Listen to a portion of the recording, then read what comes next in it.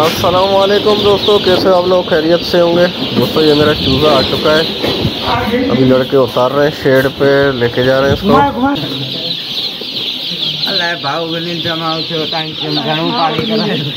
दोस्तों अभी इसका वज़न भी होगा चूज़े का।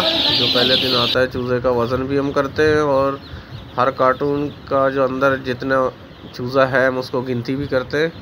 दोस्तों हमने इसका एक पूरा वीडियो भी बनाया था। आप लोग वो भी देख सकते हो।